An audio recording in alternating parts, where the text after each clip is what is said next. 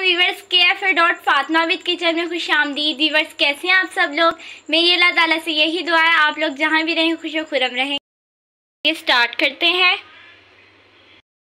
सबसे पहले मैं चूल्हे पे पैन रख दूँगी।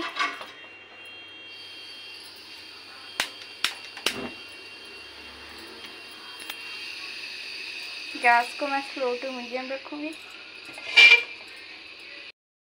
अब इसके अंदर मैं तीन कप दूध दूध डाल दूँगी। मैंने तीन कप बड़े वाले जो होते हैं, मैंने दूध के लिए थे, मैं तीन कप दूध पैन में ऐड कर दूँगी।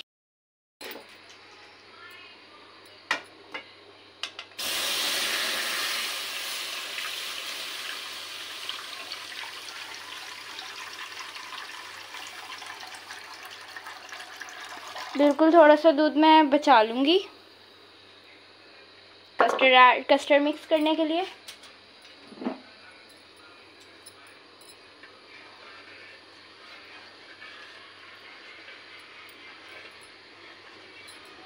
इसे मैं जब तक ये अच्छे से गर्म नहीं होता, हो जाता, तब तक इसे मैं, जब इसमें उबाल आएगा, तब तक मैं इसे गर्म कर लेती हूँ।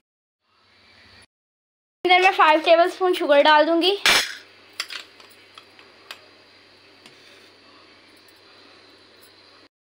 उबाल आ गया, मैं इसको मिक्स कर दूँगी।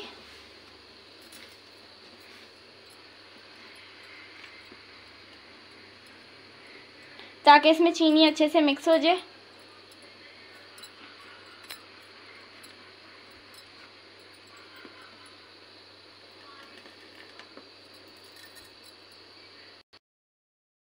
मेरा दूध अच्छे से गाढ़ा हो जाता है, तब तक मैं इसका जो कस्टर्ड मिक्स कर लेती हूँ। दूध मैंने बचाया था, वो मैं इसके अंदर ऐड कर दूँगी।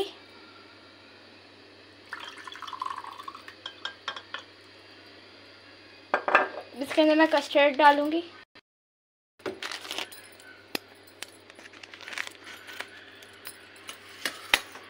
ये मैं इसके अंदर थोड़ा थोड़ा करके ऐड करूँगी।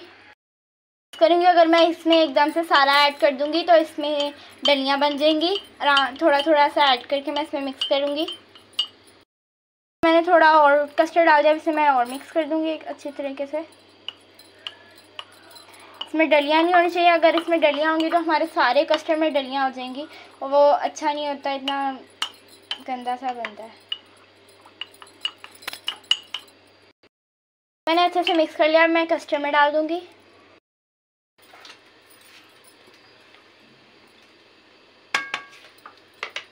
इसको मैं थोड़ा थोड़ा करके ऐड करूँगी एक साथ नहीं ऐड करूँगी वरना इसमें डलियाँ बन जाती हैं। एंड मैं साथ साथ मिक्स भी कर लूँगी।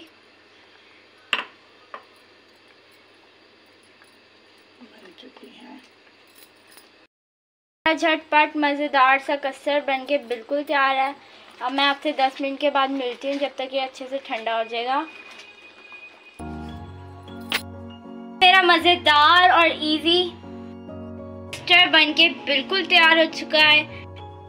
चैनल को चैनल को लाइक करें, ये आपकी तरफ़ से प्यार होता है, आपकी तरफ़ से मोहब्बत होती है। और आप लोग मेरे चैनल को सब्सक्राइब करें और अपने दोस्तों रिश्तेदारों में मेरे चैनल को शेयर करें। एंड हाफिज़